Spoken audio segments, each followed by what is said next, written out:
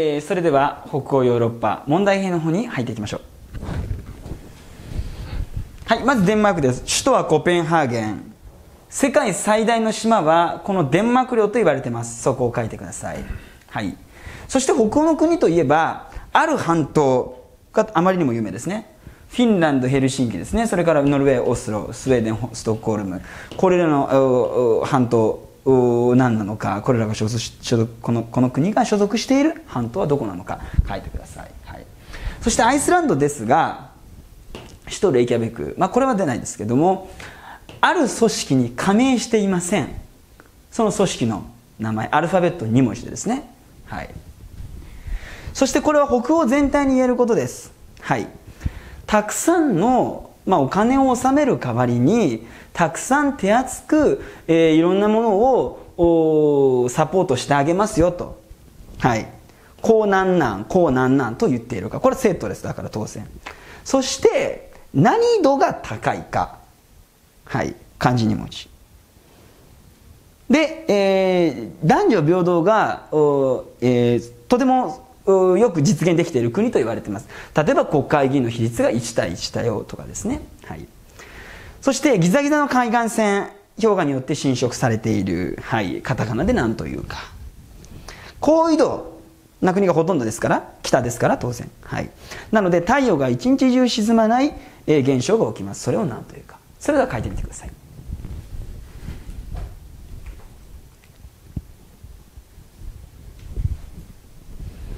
はい、それでは解説していきます。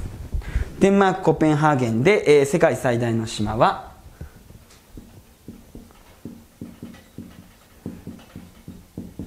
もちろんグリーンランドです。はい。そしてフィンランド、ノルウェー、スウェーデン。これはですね、ある、昔はそのデンマークなんかも、この、この半島諸国に入れてた場合もあるんですが、まあ、一応この3カ国にします。フィンランド、ノルウェー、スウェーデン。スカンディナビア半島です、もちろん。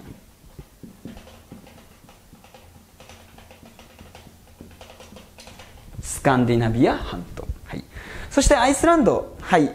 えー、レイキャブクで、えー、何に加盟してないか、まあ、加盟という言葉があったらなんかグループなんだろうなというのは想像できると思うんですけど。もちろんヨーロッパ連合 EU です、はい、逆に言うとほとんどの国は EU に入ってると思ってください。なので EU に未加盟ということを考えるときにまず考えていただきたいのはもちろんイギリスです。脱退しましたから。一番出る。アイスランドも実はそうなんだよ。ということです。で北欧の国全体のキーワードが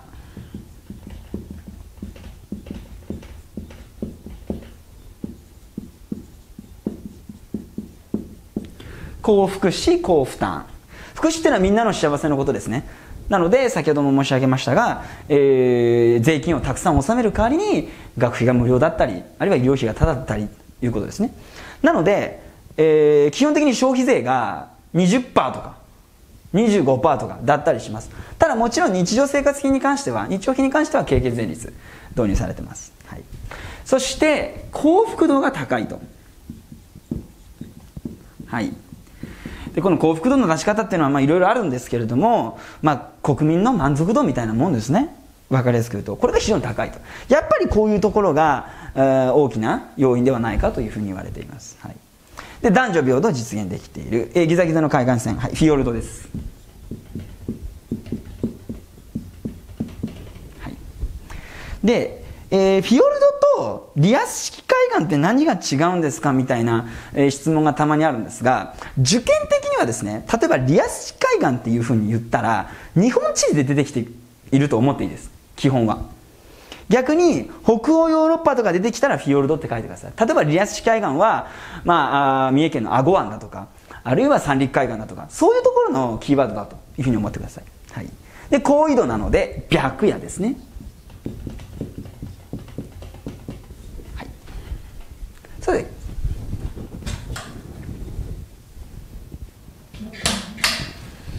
はい、えー、続いて、えー、オーストリアですね、はい、首都音楽の都と言われているのはどこなのか、はい、そしてこれは第一次世界大戦のきっかけ起こりました。何事件だったでしょうか。この国の皇太子が暗殺されました。セルビア人の青年人。はい。何だったのか。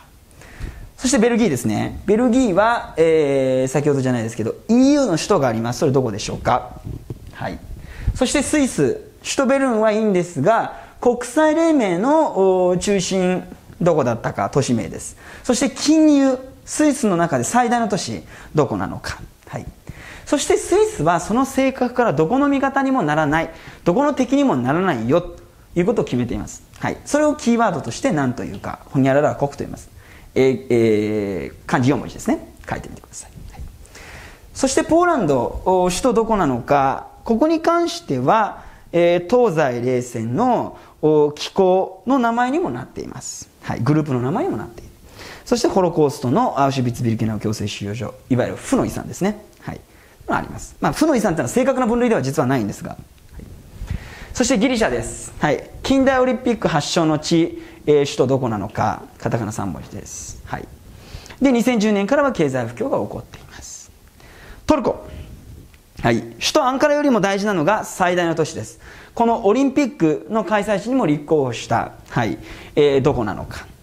そしてトルコは何教を基本的に、えーえー、信仰しているのか、はい、そして世界三大料理のトルコ料理があるよということですね、はい、そしてその1から、はい、何の玄関口と言われているのかということですね。それでは書いてみてください。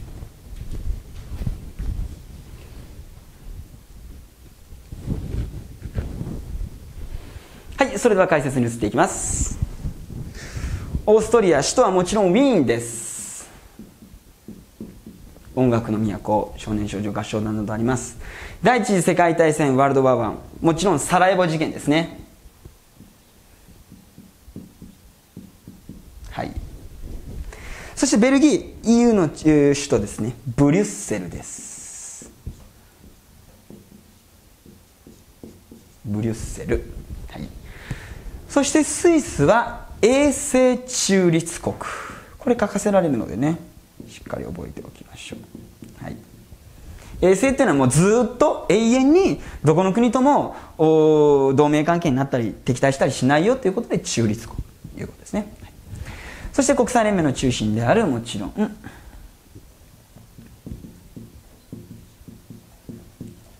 ジュネーブです。そして金融の中心地、えー、チューリヒ、はい、そしてポーランドの首都はワルシャワです。ワルシャワ条約機構。